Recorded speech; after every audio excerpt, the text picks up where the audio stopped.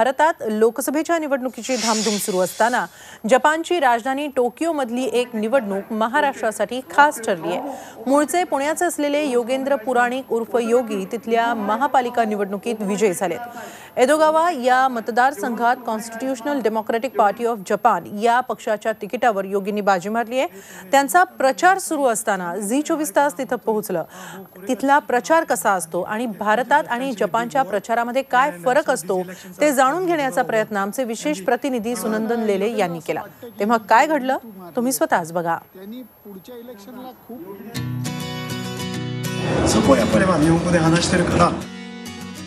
निरंजन काय प्रकार चालू आहे हा? टोकियोमध्ये आता वॉर्ड इलेक्शन आहेत तर एदोगावा हा जो आमचा वॉर्ड आहे तिथनं उभे राहणार हे एक उमेदवार आहेत. हा हा हा. अरे बापरे.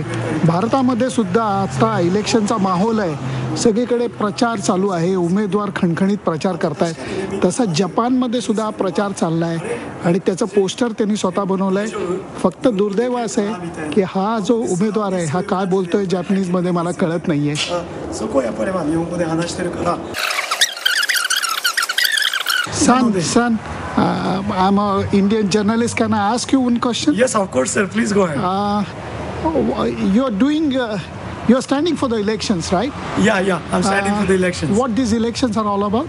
This election is first of all, it's an election within Tokyo, and these are in in Tokyo. We have Edogawa ward, which is a substantially big ward, and uh, so these elections are for the Edogawa ward, and the uh, per- peculiarity of Edogawa ward is that it has the largest number of foreigner population in Japan. Oh, we have around 30,000 plus foreigners only in this Edogawa ward in Tokyo. Uh, थोडक्यात यांना कळणार नाही पण ही नगरसेवकांची election आहे. बरोबर हे नगरसेवक आ, एक- मिनिट एक मिनिट तुम्ही ओळखलं मराठी?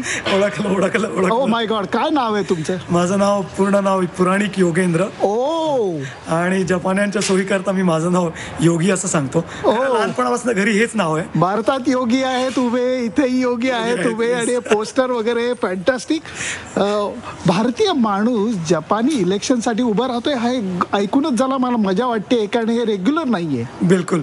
खरं म्हणजे अख्ख्या जपानमध्ये पहिल्यांदाच भारतीय इलेक्शनमध्ये उभा राहतोय. आणि आमच्या एदोगावा वॉर्डमध्ये मी आता एदोगावा वॉर्डमध्ये मी गेली पंधरा वर्ष राहतोय. बरेच आपले मा मराठी मित्र सगळे इथेच राहतात. तर इथे पण एक फॉरेनर इलेक्शनमध्ये उभं पहिल्यांदा उभं. राहतोय. त्यामुळे इथल्या इलेक्शन कमिशनकडनं पण मला खूप सपोर्ट मिळतोय. खूपच पॉझिटिव्हली ते सगळी माहिती देत आहेत. आणि त्यांचं पण असं आहे की काहीतरी एक बदल यावा. तर त्यामुळे ना मला पण खूप पॉझिटिव्हिझम आणि खूप यामध्ये प्रयत्न करावा अशी मला खूप जाणीव होती. पण योगेंद्र ही मोठी उडी आहे. म्हणजे कुठल्या तरी भारतीय आणि मराठी माणसानी हो. ही उडी घेणं हे कुठनं आला हा विचार? हा विचार खरं गेले दोन तीन वर्ष माझ्या मनात चक्कर सुरू झालं. कारण असं होतं की यू एस आणि यू केमध्ये आणि जपानमध्ये भारतीयांनी राहणं किंवा परदेशीयांनी राहणं याच्यामध्ये ना मला खूप मोठा फरक जाणवतो. एक तर भा जपानमध्ये भाषेचा खूप मोठी एक भिंत उभी आमच्यामध्ये. नंबर एक. दुसरं म्हणजे की जपानी लोकांचे जे मॅनर्स आहेत त्यांची वागणुकीची पद्धत आहे त्यांची विचार करण्याची पद्धत आहे ती आपल्यापेक्षा थोडी वेगळी आहे. आपण एकदम असे ॲक्टिव्ह लोक आहोत. आपण इकडे तिकडे उभं राहतो गप्पा मारणार खूप ॲक्टिव्हली नाचणार बोलणार हसणार धावणार. जपान्यांचं तसं नाही तर त्यांना असं कधी कधी असं वाटतं की फारच त्रासक लोक आहेत बाबा. रात्री रात्री कुठेतरी बाल्कनीत उभं राहून फोन करतायत. संध्याकाळचे नऊ वाजे नऊ वाजता बाहेर कट्टा लावून उभे आहेत. जपानी कसे आहेत की नऊ वाजले की घरात जाऊन सगळे शांत. आणि मग बरीच लोक नऊ दहा वाजता जेवतात की दहा अकरा वाजता एकदम गो टू स्लीप तर हे जपान्यांचं जे कल्चर आहे त्याच्यापेक्षा आपण थोडं वेगळं वागतो.